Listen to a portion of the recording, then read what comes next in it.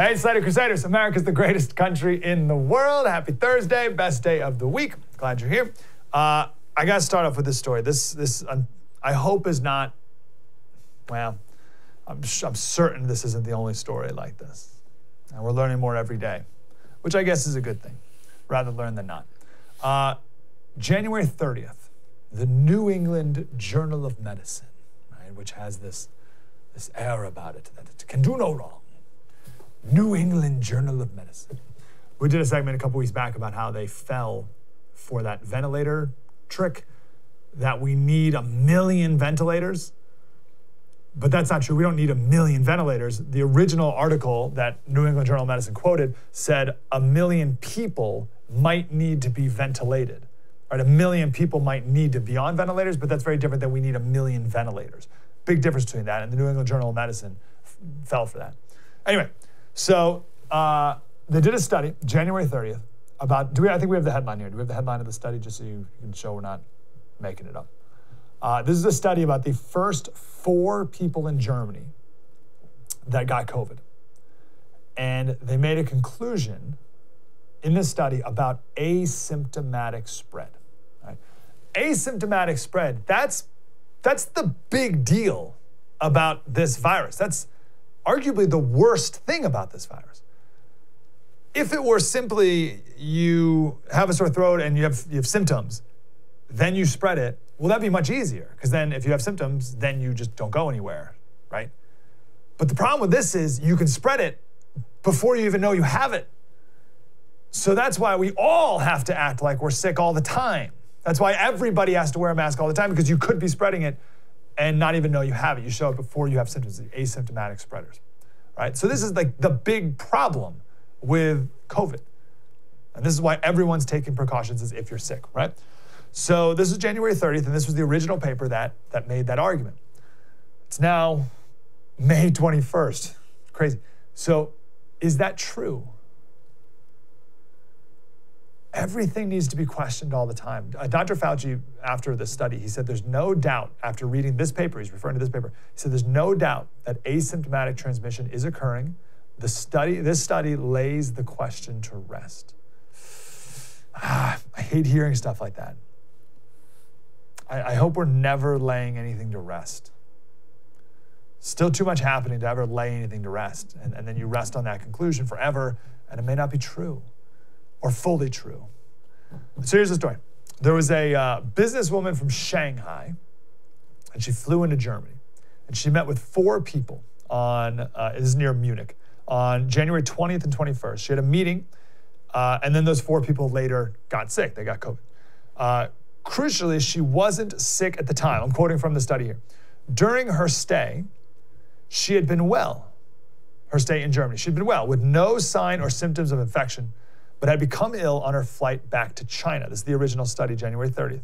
The fact that asymptomatic persons are potential sources of COVID infection may warrant a reassessment of transmission dynamics of the current outbreak. Because that's like the, hey, everyone, here's this woman, got these four people sick. She wasn't sick, asymptomatic spread. Holy cow, big deal. January 30th, at the very beginning of this whole thing, right? That's the study. Lays the question to rest. Here's the rub the researchers never talked to the woman. They never talked to the woman. What? How could you how could you have never talked to the It turns out this paper relied on just information from the four people who got sick. And those four people said it did not appear that the woman had any symptoms. The heck is that? How reliable is that? That's, that's totally worthless. Can you tell if I have a sore throat right now? If you're watching this right now, would you, what would you, would you say I'm healthy or sick? How can you tell? Can you tell if my muscles are aching? Can you tell if I have a headache right now? Of course not. So we're gonna we're gonna write scientific papers based on other people's assessment of other people and they're out. No way, like that's there's no reliability to that. I was thinking about this the other day actually. It's barely even reliable to ask a person their health history and, and when they started getting sick and all these other things. Like it's really hard, even just a direct. So even if you did talk to the woman from Shanghai and ask her when her symptoms started, it would be difficult to kind of conclude. But let alone if you ask someone else what they think this person's symptoms were. But if I went to, let's say I got sick, uh, or I went to the doctors in like a week from now. So I started to get symptoms today, so Thursday, and then I go to the doctors in a week or two weeks, right? And the doctor's like, "Oh, when did you start first start showing symptoms?" Like, even I'd be like, I don't know, like, um, know, like late last week, something like maybe I was like Fridays. I don't know, Friday maybe, Friday, Saturday. No, Wednesday. It was Wednesday, right? Like even I would be an unreliable source, and I'm the one who's sick. Like who's out there keeping a personal medical journal? Actually, that's a pretty good idea. Now that I think about that, in case you do get sick, you can just be like, oh, here, here's all the places I went, and here's how I felt every day. That would be pretty good. But no one's doing that. But the least reliable thing is is someone else's assessment of me. So it turns out health officials did later get in touch with that woman from Shanghai. And shocker of shockers, she said she felt tired, she had muscle pains, and she took Tylenol to lower her fever while in Germany. Guys, that's a totally different story. This is uh, the virologist Christian Drosten of uh, University in Berlin. Uh, this is the person who did the lab work for the study and is one of the authors of the study. I feel bad about how this went. So that's why that's why I'm sharing this story, by the way, not just like the people who wrote it are admitting it, right? This isn't me like reading too far into it. Like the people who wrote it are like, oh geez, like I feel bad about how this went. But I don't think anybody's at fault here. Apparently the woman could not be reached at first, and people felt this had to be communicated quickly all right, fine. But how about you say that? How about in the study, you say, hey, here's what the four people said. We haven't been able to get in touch with the woman.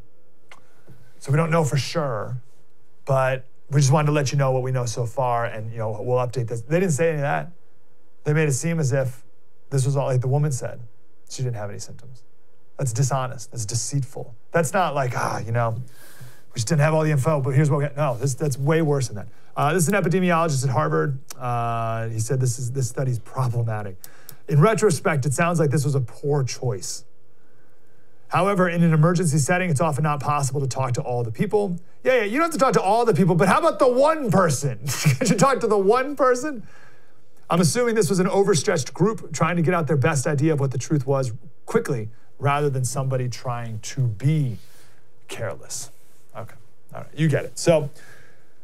Uh, a couple lessons that we're reminded of. Uh, the infallibility of human beings. We'll start with that one. Scientists, by the way, are human beings. Worthy to think about that once in while. Scientists are not oracles or God sent angels to tell us the truth of the Bible. They're just human beings and they can be victims of the same pressures that anyone else is subject to money, fame, the desire to be first, praise within their circles, uh, even good intentions, right? But intentions that don't lead to the truth. And it's not, it's not a true just because the scientist says. I heard Pelosi the other day, she, she was talking about HCQ and how it's bad or whatever. And she said, the scientists say, the scientists? What are the scientists? What does that even mean? They're people. So we need to take in the experts' opinions, no doubt about it. That's why we talked with uh, that's why we talk with Vincent Racaniello every Monday, right? He's an expert who I trust. Seems super sensible, not like either far on either extreme. He's just like a science guy. So I'd bring him questions. I take I take I have a word document with questions that I think of during the week that I bring to him because I want to know his opinion. He's an expert. I don't know all this stuff, but you're a smart person too. So don't grant them all of your critical thinking skills. Continue to ask questions and come to conclusions too. Simple questions. Sometimes these people are too smart for their own good. Do, I don't know, did we talk on the TV show about this, uh, Victor Davis Hanson? I don't know if we did. Victor Davis Hanson wrote this great piece about how epidemiologists may know uh, some fancy epidemiological equation that we've never heard of. But it might take a lowly accountant to question hey, how can you guys calculate fatality rate if you don't know the numerator or the denominator? if you don't know the, the deaths from COVID or the number of cases, how can you calculate fatality rate at all? Right, so it takes like that, the epidemiologist is like so focused on these big models and equations. They're not asking the simple questions. And it takes regular people to ask simple questions. A simple question like, hey, you said she had no symptoms, but did you ask her? like that's that's a simple question that all the scientists were like, oh, we gotta we gotta get gotta get this out, gotta get this out. And it takes a simple person to say, did you ask the woman? No, no, we didn't ask her. We didn't ask her. But what's the difference, really? Oh, I don't know. The entire reaction from everyone in the world is based on the claim that it can be spread before you have symptoms. That's all, no big deal. Now, could it be spread asymptomatically? Maybe. That's the thing I know. I know. We don't. I don't want you to go away from the study being like, oh, Slater says uh, it can't be spread asymptomatically. I don't know. Maybe it still can, but this study doesn't prove it. True story. Mike Slater, spread the word.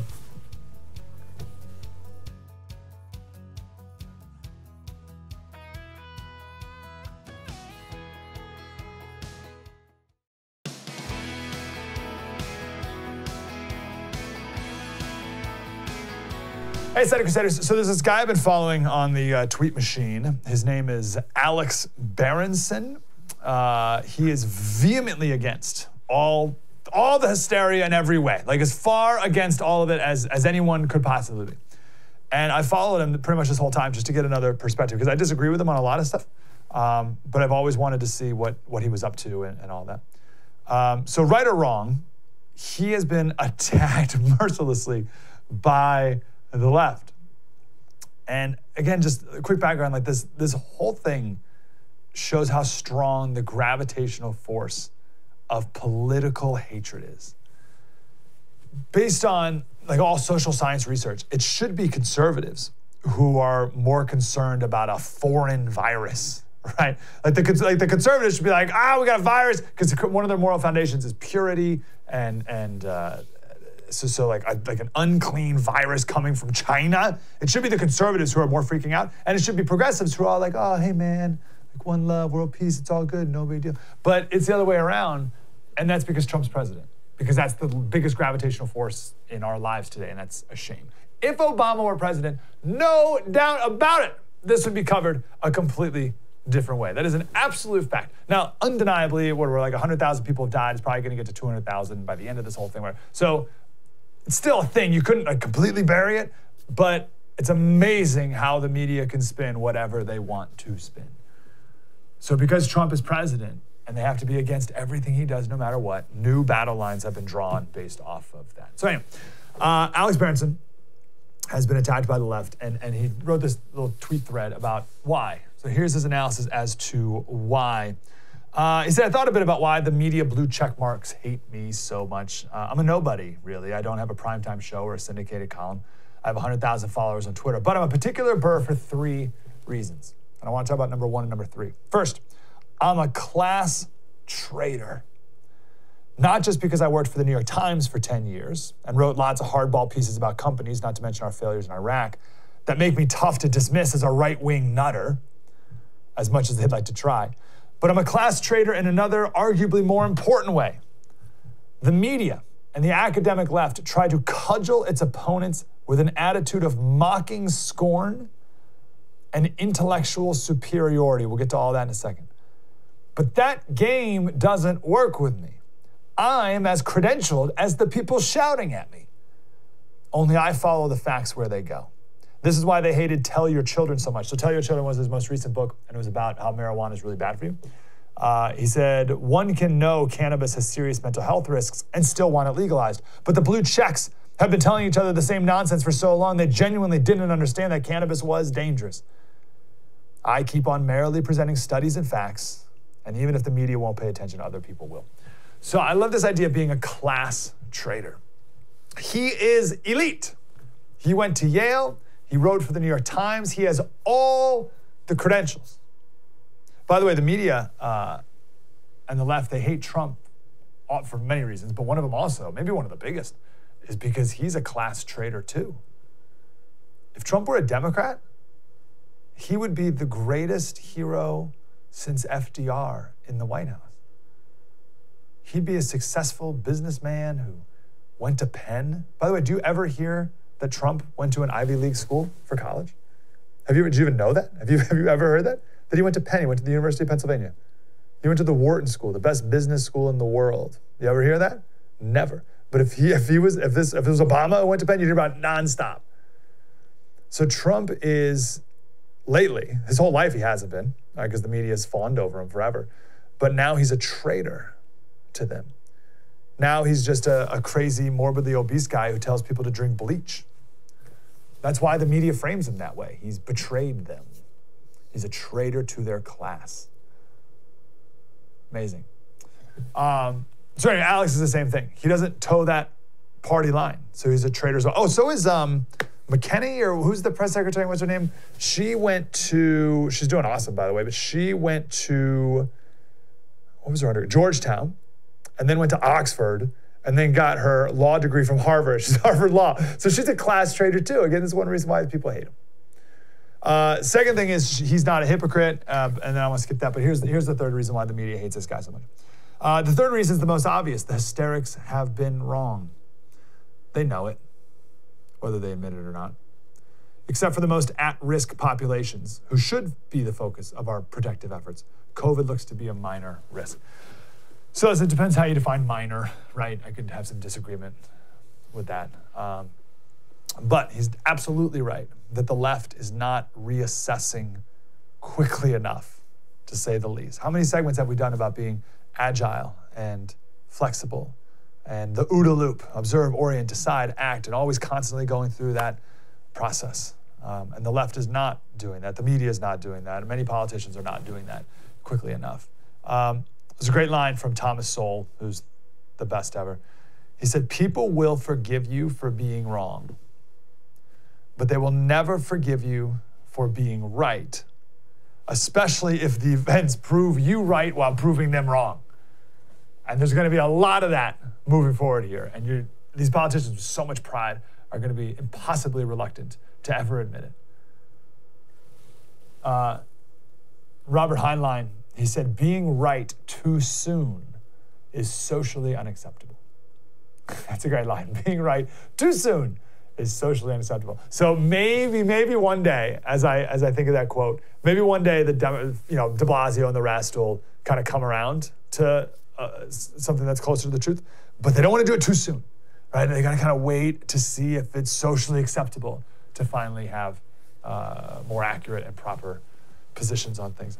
So until then, you get stupid stuff like this. So De Blasio, it's a Memorial Day weekend this weekend, right? Which I didn't even know until like a couple days ago, but. Uh, it's Memorial Day weekend. And he said, he said, he said, if you want to go, he said, if you want to walk on the beach, that's fine. Thank you, Mayor. But he said, no swimming, no parties, no barbecues. And if anyone tries to get in the water, they'll be taken right out of the water. Be taken out of the water. He said there will be fencing in position, but it doesn't have to be put up unless we have to take tougher measures. like, what does that even? What does that mean? There'd be fencing. What are you gonna put? You're gonna put the fence like on the beach in front of the water? Like, what is that even even talking about? What are you gonna pull people out of the water? What would that even look like? And why? Why would you do that? Why could you walk on the beach but you can't walk in the water? And to what depth? Like, can your can you go ankle deep? Can your can your little feeties and your little tootsies get in the water? You don't touch water at all. What are you, what are you doing? Well, that makes no sense. But the media will quickly forgive de Blasio for being so wrong, but they'll never forgive you for being right. True story. Thanks later. Spread the word.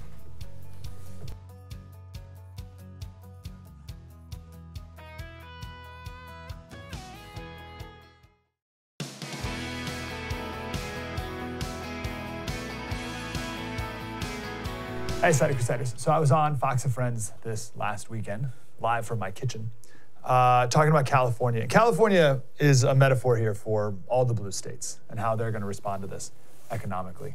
Uh, but Newsom has made the claim that he is going, unless, unless the federal government bails him out, unless Trump comes in and bails him out, he is going to cut state employees' pay and cut education spending.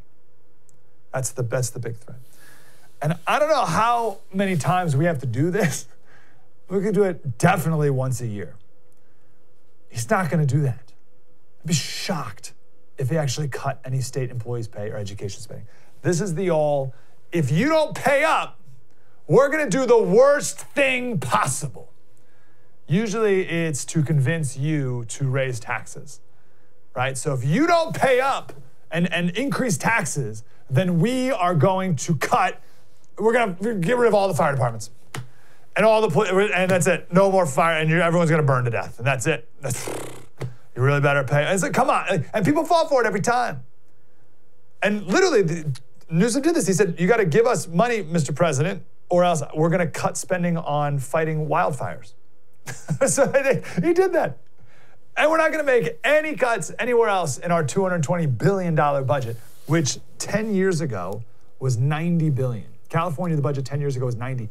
I don't know for sure, but it was like 10 years before that, it was like 30 or something. Like it's gone up crazy. Uh, but I know for certain 10 years ago it was 90 billion dollars, and now it's 220 billion, and it's like, oh, man, nowhere else we can cut. We just have to. We have to just have to close down all the schools. but by the way, most like to that I say good. To both of those threats, I say good. But you, you see what he's doing there. So uh, this is in the Hill, and I know we have other headlines. You see it everywhere. But the one I saw from the Hill said uh, Newsom says first responders would be the first ones laid off if states don't get federal assistance. First responders? What do you? Why would you? Out of all the people that's who you're going to respond first. It's ridiculous. And you know this because we do this every year. But if you took a pay cut, which many people listening now have, no one says, oh, my kids are going to starve to death. I'm just, I, or not, it's not even that. It's like, well, I guess I'm not going to feed my kids. That's what, that's just, I don't have any money. I, you know, I got I took a pay cut. Well, sorry, sorry, kids, you're not eating. No, you look for every, where else just cut your spending? You cut your cable bill, you cut your cell phone bill, you cut these other expenses so that you can continue to pay for your top priorities first. So it's a classic government trick, and people will always fall for it. People will always do. Trump won't. I hope he won't. You won't fall for it, Mr. President, will you? Uh, you know, Gavin Newsom keeps doing this, we're all in this together thing. No, we're not. no, we're not all in this together. Oh, someone had a funny tweet. I retweeted it. Here. Let me pull this up here. So I'm, I'm not. I, I, don't think I ever said we're all in this together, but we're. De- I'm definitely not. Don't fall for that line. That's such a stupid, empty line. Here, someone said, "I'm boycotting any company that uses the word in these trying times, in an unprecedented time, or we're all in this together in an ad." We're not all in this together. Get over that. The health director in LA, the, the woman we've talked about before, she has a PhD in social work, and she's the big health director. She makes $500,000 a year. She's not in this together with the person she won't let go to work. You kidding me? The unions are not in this together with you. They're going to do everything in their power, the state unions, to make sure that they're not affected in any way whatsoever. I'd be shocked if, the, if they ended up taking a 10% pay cut. It's just not going to happen. Are there any state workers who aren't getting paid now? I'm sure they're all getting paid, and I'm sure there's some that aren't even going to work. So that's the first thing. It's not going to happen. Empty threat. Don't don't fall for it.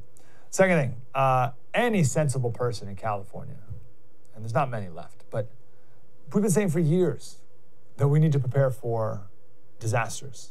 We need a, a bigger rainy day fund. We need a bigger, by far, not every. So mostly when we talk about that, we talk about an earthquake, which could come at any moment. But either way, we weren't, you know, I, no one was thinking pandemic. Like, we, got we need a bigger rainy day because there's going to be a pandemic. No one said that. But still, we needed a bigger rainy day fund. So we weren't prepared financially at all. $20 billion was California's rainy day fund. $20 billion. Sounds like a lot. But the Northridge earthquake in 1994, it caused, in today's dollars, $75 billion. So you could have an earthquake that has 25% the damage that the North that the Northridge one did in 94. 25% is damage and the rainy day fund's gone. So that was like that was nothing, that rainy day fund. That'd be like you having a rainy day fund of, of 50 bucks. So we were never really prepared for this. And now Newsom's going to beg DC for money, which is going to be paid for by one of two things either you in Texas or Oklahoma or some responsible state. So you're going to have to bail us out, or it's going to be money borrowed from China. That's, that's going to pay for California's irresponsibility? No, it's not appropriate. And I, again, I hope Trump doesn't fall for it. What's going to be interesting to see moving forward are the different um, different paths that states take, red and blue states. They're going to have completely different economic recovery plans. Some states are going to lower taxes in response to all this, which is, of course, the right thing to do. Let people keep more of the money they earn once they're allowed to earn it. And other states are going to raise taxes. And you're going to see the exact. Yesterday, we did the segment on the Great Accelerator. It's a perfect example, right? States that, like blue states like California, that raise taxes, they're going to raise them faster and more. And states that are kind of on the slower track of lowering taxes, like a Tennessee or something, uh, they're going to lower them faster and more.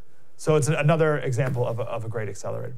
The problem for California, and I'm sure other blue states too, 50% of California's tax revenue comes from people who are making more than $500,000 a year. So people make more than half a million, they're responsible for 50% of California's tax revenue. So we have a very volatile revenue stream. I think it was um, ah, whatever year it was. I know some some year Zuckerberg had some did some big thing. I don't know if the year he went public for Facebook or whatever. But just Zuckerberg, I don't know if it was just his taxes or just even his increase in taxes was two and a half billion dollars. right? So so Sacramento was like, oh, we're flush with cash. And it was because of Zuckerberg. So you see how it's volatile, but it's good and good, really, really good in good times, but really, really bad in bad times. And of course, rich people can leave very easily to a place with no income tax and like a yard. And they're going to take half of the state's revenue with them, which has been a big a problem for a long, long time. But again, it's going to be an accelerated problem now. So then that puts a bigger burden on the middle class people who are have to stay because they're stuck here. And that's going to lead Newsom to raise taxes even more. Yesterday we talked about Joe Rogan leaving. Uh, so Joe Rogan just signed a hundred hundred million dollar uh, deal with Spotify. hundred million dollars. Okay, so that like the state's going to see a huge tax increase revenue. But I've he makes 50 million a year. So 13%, that's the state income tax. Isn't that crazy? 13% is uh, it's like six, seven million dollars. So he leaves, boom, seven million gone, seven million dollars gone from Sacramento. One person. And he's not the richest person in the state at all. So there's going to be an accelerator of people moving out of California, which really stinks for you, by the way, if you live in any other state, because those people are going to bring their blue Democrat philosophies with them and screw up your state too. It's like a, speaking of viruses, Democrats in California are like a virus. Or we could all stop with this nonsense and just let people go back to work if they want with proper precautions and start earning money again. As Adam Carolla said, uh, Gavin Newsom just tacked on three more months to our sentence for good behavior. We've done everything right in California, and we're still getting punished for it. Uh, I got to run here, but speaking of sentencing, I got to throw this in here. Newsom's other plan is to sh- shut down prisons. He wants to close prisons, not because of people in there getting sick with COVID, but because of the budget problems budget shortfalls where he wants to shut down prisons. Like, what are you talking? Like, of all the things, you're gonna shut down prisons. He wants to shut down two state prisons and all three state-run juvenile prisons. I think we have a quote from. Uh, is the examiner. Uh, he's seeking unspecified, unspecified increases to sentencing credits that allow inmates to leave prison more quickly. He proposes to shorten parole to a maximum of two years, down from five. Why? Why would you do that? And let ex felons earn their way off supervision in just a year. What would, or 18 months for sex offenders? Why, would? The Democratic governor called it a core value of his administration to eliminate prisons and invest more in education. Eliminate prisons. I never understand. I hear this all the time. People are like, oh, prisons are overcrowding. It's like, well, yeah, of course they are. Like, what? The prison populations are only going to go up because people get sentenced for a long time, and then more people commit crimes and go in there. Like, we should be building more prisons. I don't understand that. There's a big Supreme Court case, I don't know, six years ago maybe, that said California prisons are so overcrowded, it's a cruel and unusual punishment. And you have to let people, you have to let people out of prison. And I, I heard that I said, okay, sure, fine. Cruel and unusual, too crowded, but couldn't you just build more prisons? So we should be building more prisons, and instead we're now shutting them down. LA Times wrote an article the other day about the 3,500 prisoners that were released because of COVID. And that doesn't even make any sense. I never understood that from the jump because if you had it, like if prisons are like this breeding ground of COVID and everyone there's got COVID, why would you let people out where they're just going to go spread it where they live, in the town where they live. Right? That doesn't make any sense at all.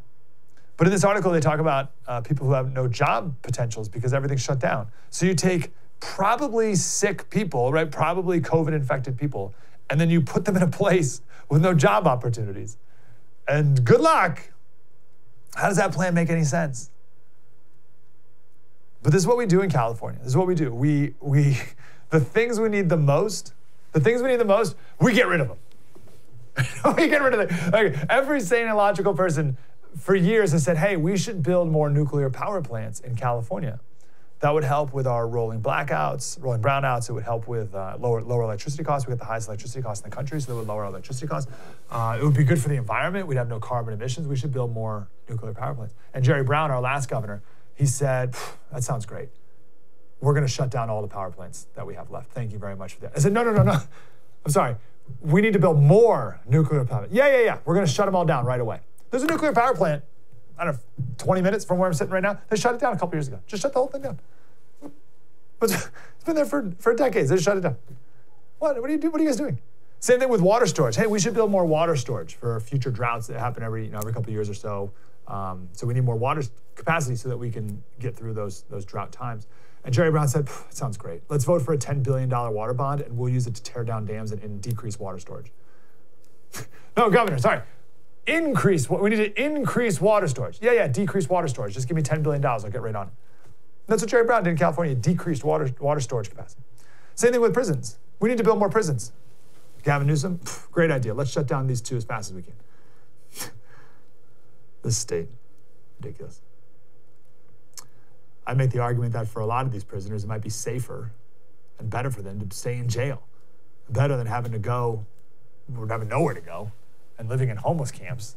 And then if you didn't already have the disease, you get the disease there. If you already did, you spread it in the homeless camp. What good does that do for anybody? We're talking about quarantining everybody, but we have people who are in a quarantine and we're going to let them out. But you, you, you come in contact with somebody who might have COVID and you have to go back in quarantine. One person, she was in jail for 11 years. Uh, she got released.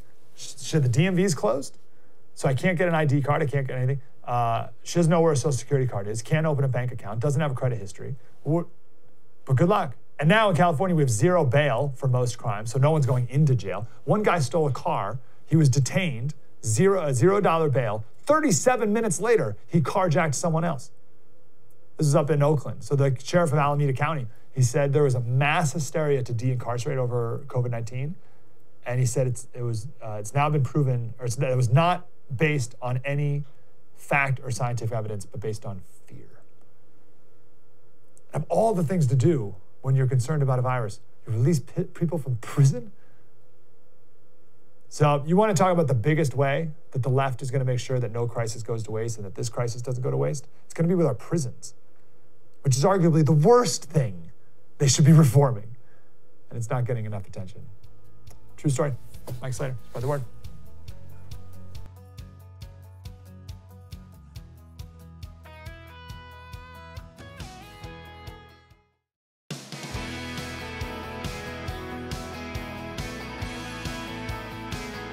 Slater Crusaders, thanks for being here. I want to uh, make again this point that I've now made ad nauseum. We have beaten this horse dead many, many times. Uh, human nature, the limits of human nature. If you are a politician and you are not taking every recommendation and filtering it through the reality of human nature's limits, then you are doing nothing. You are doing nothing. Nothing matters if no one's going to do it. I feel like every COVID task force across the country should have like just like some guy. you have all your like you imagine the the big table and you have all the epidemiologists and you have all the serologists and you have all the public health experts and you have all the big impressive people and then you just need like you need like Bruce from Staten Island or whatever. Right? You just need like just need like a guy, and everything needs to be run through him truly, he's like the most important person on the whole board. Because if this board comes up with some grand conclusion of things we need to do, and then you run it through Bruce, and he says, nah, no one's gonna do it. All right, back to the drawing board, guys. Like, no one's gonna do it. So we gotta come up with something people are gonna do. So an economist or whoever, no, not epidemiologist, not economist, epidemiologist says we need to quarantine everyone for 14 days. So if you're, if, if we do the contact tracing and uh, it says you were in a Starbucks last week with someone who now has COVID and you need to quarantine for 14 days, right? That's the idea. So everyone's got to quarantine for 14 days if you're near anyone who had, who had COVID. Like, okay, guys, great idea, good work, scientists. Bruce, what do you think? Like, and Bruce is like, nah, that's not happening. Okay, all right, guys. Bruce says it's not happening. So, what, what can you, what, what do you got? What, what else can you come up with? And they're like, no, it's got to be 14 days. Bruce, it's got to be 14 days. It's like, not, Bruce is like, it's not happening. I'm not doing 14 days. All right, Bruce, what do you do? What will you do? I'll do three to five days with two negative tests. That's what I'll do. I'll give you three to five days, two negative tests. That's the best I can do. And you're like, all right, epidemiologist, that, was that good? Can we do three to five days, two negative tests? Because that's all Bruce is going to give you. I mean that seriously. You got to have just a regular guy on every panel. Because what's the point of mandating all these things that no one's going to do? and you're going to get major backlash from it if, if you try to force it. And then you're going to lose a bunch of goodwill when you need to, when you really need people to do things, right? Yesterday, was yesterday, we did a segment on vaccines and uh, how the government can force you to take vaccines, right? And you have no constitutional right to not take one if, if it's a disease that can spread to other people. Anyway, um, like if politicians really, really, really want people to take vaccines, I don't think many will. But you know what will cause people to definitely not take vaccines? If de Blasio rips people out of the water over Memorial Day weekend, right? No one's going to follow your orders, de Blasio, next week when you pull them out of the water on Monday. You with me? That guy, maybe he was kind of on your side throughout this whole thing. And he's like, oh, I'm going to go to the beach. And then um, he goes to the beach. And he's like, "It's kind of. I'm going to kind of take a little quick dip in the water." And you call the lifeguards and the National Guard to rip him out of the water. He's never going to do anything you ever say. So use your power wisely. A lot of you guys are pushing the limits a little too far. You need to take Bruce's advice. I was going to call him Lenny. I don't know which is better. Go with Bruce. Uh, LA Times, Doyle McManus. This is a good guy, good guy in the LA Times. I have to say that because when I think LA Times, it's going to be like some super far left thing, but this guy was very sensible. He said, uh, he says, we need to administer tens of millions of tests to find out who has the disease, then trace all their recent contacts using a cell phone app that, the, that tells the government whom they've met. Finally, track down all these people and order them into isolation for 14 days, probably in a quarantine hotel. Uh, now, think of that scenario. In a country where armed men are marching to defend their right not to wear masks, how will intrusive measures like those go down? Answer not easily. My public health, this is, a, this is a professor at Stanford's medical school. He's a psychiatry professor. My public health friends are working out brilliant solutions, solutions for the technical problems, but they haven't confronted the challenge of political culture. That's, that's human nature. We've been, that's the word we've been using for it. Uh, what are we going to do if millions of people refuse to take the test? What are we going to do if they refuse to isolate themselves or close their businesses? He's totally right. And we've talked about this again ad nauseum. We have this amazing country that's all about individual rights. And, and just by our like our to core of our being, we're not an obedient people. We're not subjects to the crown. We're citizens, very different. The Constitution enshrines our right to rebel. That's a wonderful, wonderful thing. It's one, as, as this writer said, it's one of the glories of American life. But in the face of a pandemic, it gets in the way of protecting the larger community. So you have to balance that properly, and many politicians are pushing it way, way, way too far. I use that example about the 14 days because finally some health person from Harvard is saying you can't isolate people for 14 days. You just you can't do that anymore, right? Maybe in the beginning, when people were like, "Oh, we don't even know what this is," you could do the 14 days, and the 14 days thing was just completely made up, right? Why do we do 14 days? Like I don't know, two weeks. That's just where that came from. So we're way past that now. But you're not going to get the compliance. You're not going to get people to stay inside for 14 days. In a perfect world, maybe. But you're really, you're going and this doctor said three to five days. You're going to get about three to five days. And then you do two negative tests, and you're negative on both tests, and you're free to go. It makes way more sense because you can't, you're near someone who maybe had COVID, 14, like, what are you talking about? Like, I got kids. I got kids. I'm not going to leave my wife to become like a single mom with three kids because I was in a store with someone, like, that's stupid. So we'll never see 100% compliance. But I don't think we need it. Like, be happy with 70%. That's really good. Take that and be grateful. I got a second here. Let me end with this. This is uh, one of my favorite guys on Twitter. Uh, he used to be he used to write for Cracked.com, but he just left and doing more of his own stuff. He said, "Is there a specific term for the logical fallacy of this plan works perfectly as long as humans behave like robots and not humans?" Examples, and we mused about this one the other day. Abstinence-only sex education. Teen pregnancy would be 100% eliminated if everybody would stop having sex. Other examples, any kind of drug or alcohol prohibition. Uh, the do, do, do, we don't need labor laws because workers can just quit. Communism works perfectly as long as the citizens never feel or act on personal greed, envy, or the need to have better stuff than their neighbors. Whatever it's called, I feel like some of us have strayed into it in this pandemic, assuming that humans would simply go without real life contact with other humans for months on end assuming they function on a cold, machine like calculation of risk rather than emotion and impulse. We're not robots. and that could be a tough pill to swallow, too, what, what he just articulated here, because some of those policies, like I do support.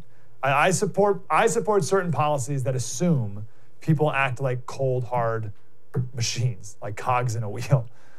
So even I need to like be like, okay, okay, we can't right? And we need to think about what's reality and balance that properly. So what's it called? Well, there's, there's someone chimed in and called it the nirvana fallacy, which is closely related to the perfect solution fallacy. So you, a bunch of these, maybe you've thought this before, like uh, these anti-drunk driving campaigns, they're not going to work. What's the point? These are stupid. People are still going to drink and drive no matter what. That's what they'll say. And you're like, okay, yeah, we're not looking to completely eliminate everybody from driving drunk. We're just trying to reduce the number of people who do, right?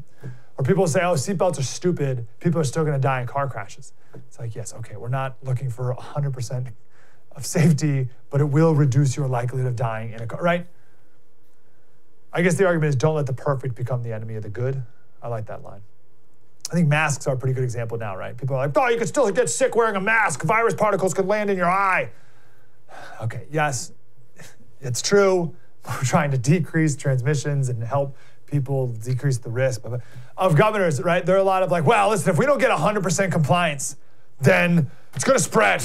And then we're all going to get sick. And it's like, we're doing nothing. We need a, uh, Mayor of uh, LA Garcetti said, I'm going to go after the last 0.1%. 0.1%. Guys, guys, got to work within the confines of reality.